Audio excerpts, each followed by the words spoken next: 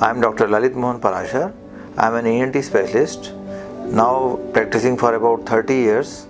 I am in uh, Apollo Spectra in Kailash Colony and uh, we are doing all sort of advanced surgeries as far as ENT is concerned. Thank you. When we think of sleep apnea in a particular patient, we diagnose it. There are ways. After having diagnosed obstructive sleep apnea, we go on to treating the first treatment option we tell the patient is lifestyle modifications. Patient if he is obese he has to lose weight.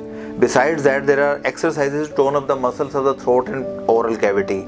So we tell them to use chewing gum speech exercises pranayam breathing exercises go out and run so that they have more control over their breath.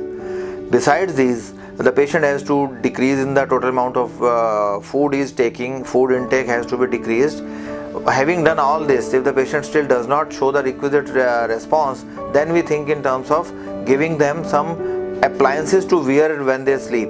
Appliances can be uh, CPAP or uh, AutoPAP machines which force open the airway when the person sleeps. These machines are cumbersome to wear difficult to wear but can be an option more importantly we assess the airway and if there is obstruction like because of tonsils because of nose because of turbinates because of thick palate because of heavy uvula or some configurational problem there we can go and do the surgery and correct the whole thing.